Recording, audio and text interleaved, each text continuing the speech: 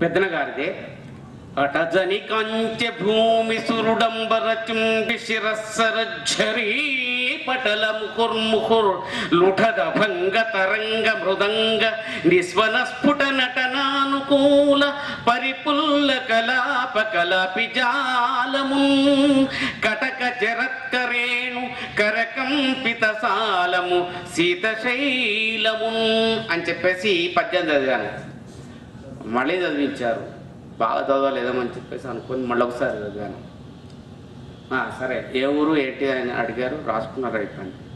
ఆ తర్వాత మళ్ళీ పాఠశాలకు నోటీస్ వచ్చింది. జిల్లా స్థాయిలో పద్యపటంలో రామ్మోహన్ రావుకి ఫస్ట్ ప్రైజ్ వచ్చిందని చెప్పేసి.